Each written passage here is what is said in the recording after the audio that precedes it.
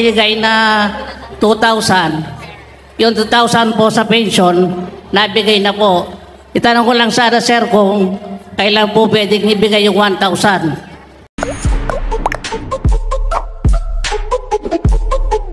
na dagdag pension. Kasi po nagme-maintenance na po ako ngayon. Kaya sir, yun lang po. Maraming po salamat. Alam niyo po, sasagutin ko yan, bababa ako para makita niyo yung sinseridad ko.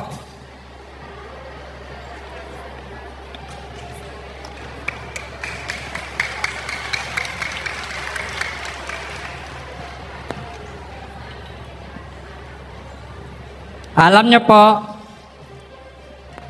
yang isang libong pensyon dagdag, pwede ko po explica sa inyo.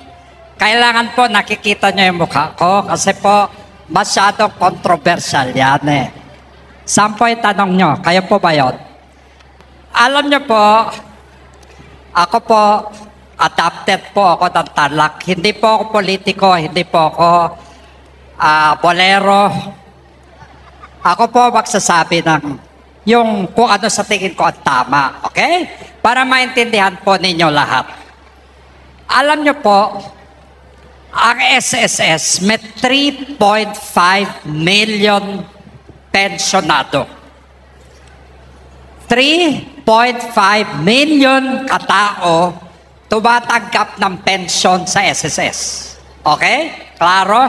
Klaro na. Alam nyo po, pag binigyan ko po kayo ng isang libo po, 3.5 million times 1,000 po pesos.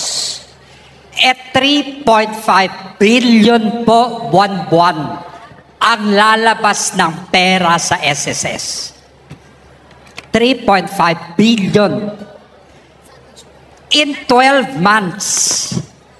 Sa labing dalawang buwan po, 42 billion pesos po ang ilalabas na pera ng SSS para po dahil lang doon sa isang libo. Okay? Ako po ay presidente ng SSS. Alam niyo po, gustong gusto ko ibigay yun. Kaya lang po, alam niyo,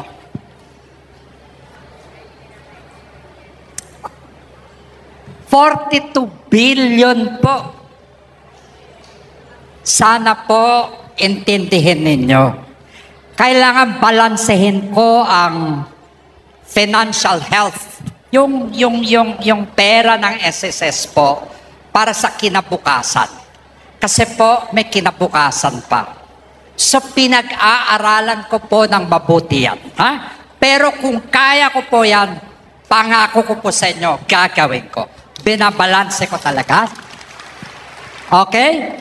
Kaya po para naintindihan talaga ninyo po at sitwasyon. Kasi po marami nagsasabi po sa akin eh, yung isang libo napakaliit, pinagkakait ko pa. Ba? Pero po tandaan nyo, isang libo sa 3.5 million na pensionado. 3 and a half billion, B po as in boy, billion piso. Buwan-buwan ang ibabayad ko. 42 billion po ang lumalabas sa SSS sa isang taon. So, kailangan ho, pag-aralan ko talaga. Naintindihan nyo ngayon po, ha? Kasi po, importante matutuloy ang SSS, ha? Sana po, naintindihan nyo yung sitwasyon ko, ha? Salamat talaga po. Salamat. Yeah.